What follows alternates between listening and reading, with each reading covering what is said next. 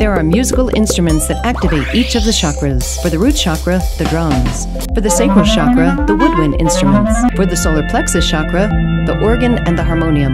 For the heart chakra, the stringed instruments. For the throat chakra, the horns. For the third eye, the piano. And for the crown, the blaring conch shell announces freedom and enlightenment.